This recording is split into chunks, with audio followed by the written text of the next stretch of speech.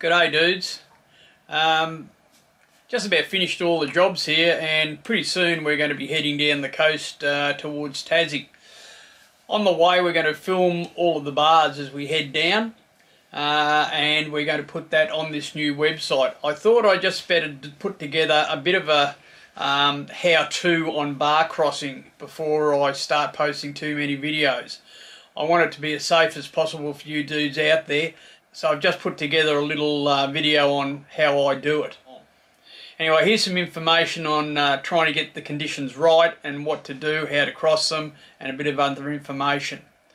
Hope you enjoy it, take a look, and uh, hope to see you out there soon. Please don't forget, bars are dangerous places in the wrong conditions. I don't want to try and scare anyone off, and it's all doable, but you must have everything right to do it safely. The first thing you need to do is get a forecast. If you're coming out across a bar, get the forecast just before you put your boat in the water or before you leave the harbour. Um, then you'll have a pretty good idea what the bar is going to be like. Use bar cams. There's uh, live cameras on most of the bars up and down the coast these days, and they're another valuable tool that you can use so you can get a live look at what the bar is doing. When you're looking at forecasts, a few things you need to look at. You need to look at the wind, direction and speed. Uh, you need to look at the swell height and the swell direction. Uh, and you look, need to look at the tidal information. Tidal information is very important. Of course, the other thing to take into account is the depth on the bar. This can be gained from the chart but it's best to check with VMR for the latest soundings. Don't forget to take into account the swell height. A 2 metre swell would most likely decrease your depth by at least 1 metre. Bars uh, that look really, really terrible to cross when the tide's flowing out can look totally different when the tide's flowing in. And the best time, and I can't say this more strongly, the best time to cross any bar is in the last two hours of the uh, run-in tide. So if the tide's flooding, in the last two hours of the flood before it reaches high tide, that is definitely the best time to cross uh, most of these coastal bars. Why is that? When the tide is running out, it tends to undercut the swells that are coming in across the bar, so it stands them up. The outgoing water stands the uh, incoming swells up and they'll be a lot steeper and probably broken with an outgoing tide but if you can use that incoming tide and make sure that the tide is flowing in across the bar it usually smooths things out quite considerably. You may be travelling up the coast from one bar to another and this makes it harder because you need to get the, the uh, conditions right in two places at once which is sometimes a bit of a chore. But if you're um, inside a barred entrance, if you're on a river somewhere and looking at cruising further up the coast, try and get the bar right for your entrance because if you can't get out, you're going to be able to see if the bar that you're going out across is too bad to cross and uh, you'll probably stay where you are. But if you can get out across that bar, it's pretty easy to see from the inside of a barred entrance what the waves are like. It's a bit more difficult from outside of the bar. So try and get the conditions right for the bar you're travelling to. Sometimes you can luck it out and get it right both ends, but it just depends. The main thing is whether you're inside a river or outside of a river, don't cross a bar if the conditions don't look good. If it looks gnarly and you're a bit worried about it, stay out or stay in. Uh, you won't lose your boat if you stay at sea in most circumstances and you definitely won't lose your boat if you stay inside a river bar. So if the conditions don't look good, don't cross. Another thing to be careful of is overrun. We were just crossing the bar at uh, Yamba and it's a good example of overrun because the tide was low here uh, about an hour and a half, two hours ago and we're still pushing about four knots of current so you can see we're only making about 2.9 knots at the moment. There's still a lot of water running out across the bar uh, and this is something you've got to be pretty careful of uh, when you're crossing bars. The conditions aren't too bad today, but if there was a bit of wind up, it could make it uh, quite nasty out there. A good trick as far as I'm concerned, if I'm going to cross a bar, what I do before I cross, if I'm on the inside of the bar, I'll have a look at the seawall and see which way the water's flowing. If you can see the water flowing out with you, it's probably not a good time to cross. You should be pushing a bit of tide when you head out across that bar. So have a look at the seawall, see what the water's doing. Just be aware of what's going on around you. Now in the videos I'm going to highlight a few of the things that will assist you to get in across these bars. And one of those things is uh, lead lights. There's two types of leads that you'll find on barred entrances. One is uh, leads in line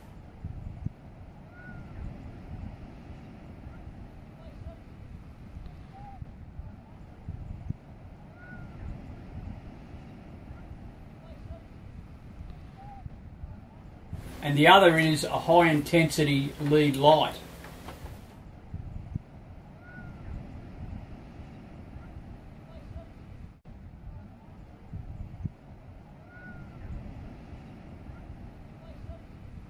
There's also usually a line marked on your chart if you use a chart plotter and paper charts as well sometimes put a line that gives you the bearing on the leads be aware that sometimes these bars move around a fair bit. Many of them don't, many of them are quite stable, but there are a few bars around that do move around. They silt up, they can be shallower than what's um, what is shown on the chart. Take all of these things into account. It's always a good idea to call VMR before you cross a bar, and you can call them beforehand and even ask them for uh, depths and things like that. VMR will not, never tell you whether you should cross or you shouldn't cross. So that decision is going to be left up to you. There's too much liability involved for them to say yes, it's safe to cross because they are, can be dangerous places. But they will give you information uh, such as the best way to uh, approach the bar and the bearings for the leads on the way in. I went and filmed the Harrington Bar uh, on the way down the coast. Uh, it was very interesting, and I talked to the VMR there. And apparently, they offer a service if you want to go into Crowdy Harrington or into Harrington. Uh, you can call up the VMR. If you give them a call uh, a day before, they'll organise to take a little boat out and show you the deepest water, let, lead you in across the bar showing you the deepest water. So that's a pretty good service from uh, VMRs. Make sure that you do use the VMRs. It's always a good idea to log on before you cross a bar. So log on before you cross, log off once you're out or once you're in. When you're going to cross a bar, prepare your boat. Make sure your boat is ready to cross. Make sure everything is stowed. You want to have everything uh, tied down or stowed. Expect to cop a wave if you're crossing out through an ocean bar, if you're going out to sea, expect to cop a wave over the front. We don't want you going out in those conditions, but you never know. They, they're, sometimes the waves can come from nowhere and just stand up in front of you, and you'll take uh, white water over the front of your boat. So if you've got a dinghy on the front, make sure it's well lashed down. If you've got a dinghy on the back, make sure it's well lashed down. Don't have anything in the boat that is um, going to fall or create a problem. There's nothing worse than trying to navigate out or in across a bar and you've got um, articles flying around in the cabin and rolling around on the floor. It's really distracting. Make sure that it's closed up. If you're on a sailboat, put your storm boards in. Make sure your passengers are up in the cockpit. Don't have anyone down below while you're crossing a bar. And of course, make sure you're wearing a life jacket. Uh, it's a legal requirement in New South Wales to wear a life jacket when you're crossing an ocean bar, so make sure you put one on. And make sure you've got plenty of fuel on board. Don't run out of fuel, and don't forget it can be a little bit rough when crossing a bar, so if you've got low fuel tanks, you might end up uh, sucking air into your fuel system and shutting your motors down. So make sure you've got plenty of fuel to cover your crossing. So you've got your boat ready, you've got your crew ready, you've got your life jackets on. Before you cross, whether going in or out, stop and have a good look. Look for broken water. Look for the calm sections. You don't want to be in the white water.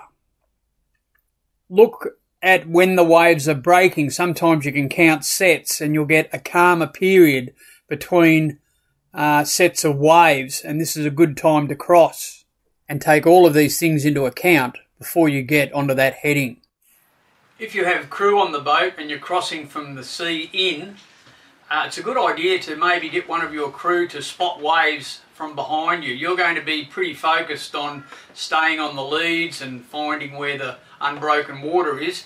If you get one of your crew to just keep a bit of a lookout behind, they can let you know if a bigger wave is coming and you can probably be a bit more on your toes. What you're looking for is that area of unbroken water and that will be the deepest part of the bar and the best place to cross. If the leads are taking you into broken water, don't follow them. But before you cross the bar, check your motors at wide open throttle. Push your motors right out to wide open throttle, make sure they're going to function okay. Just check your steering too.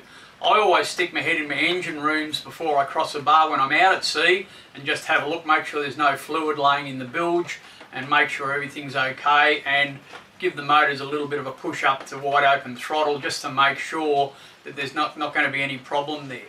It's uh, pretty important to know how your boat handles on the front of a wave too and um, a lot of boats will broach too. What happens in that situation, the wave will pick the boat up and start surfing it down the front of the wave. Uh, when this happens, the water flow over your rudder will be in reverse. So your rudder virtually becomes useless and then the boat will probably bury the bow a little bit and start turning side onto the waves. It's not a good feeling, I can tell you from experience. Um, but know if your boat is a bit prone to broaching and then you want conditions a bit better on a bar uh, before you cross it. Catamarans usually are a bit more stable on the front of a wave.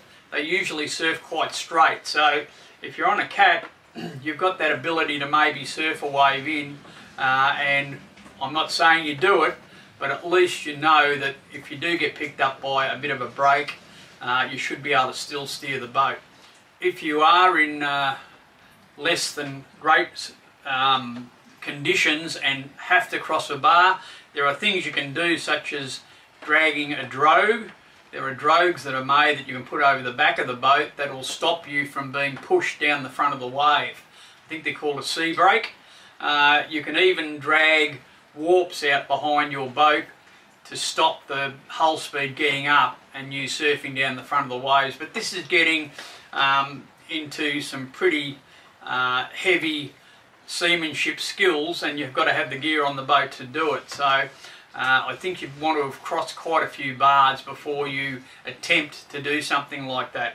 If bars are uh, marginal as far as weather goes and break, I won't cross them. I'd rather stay at sea and uh, do a few more hours out. Staying out is a lot safer than crossing a bar in marginal conditions. So I hope you've uh, found this video interesting use it as a tool. It's not the be all and end all. And look, all I can say to people is be concerned about bars, but don't be scared of them. If you do it when the conditions are right, you probably won't even know you've crossed the bar. So get the conditions right and uh, explore some of the places that you find. I'd much rather cross a bar if the conditions are okay than roll around in an anchorage that is uh, hard to sleep in. So if you can cross a bar and get into a river, you'll end up having a good night's sleep. If you've uh, enjoyed this video, please subscribe. It just helps me get it out to people. So subscribe, hit the bell, that'll inform you when uh, new videos come up and stay out there till you can't. Cheers dudes.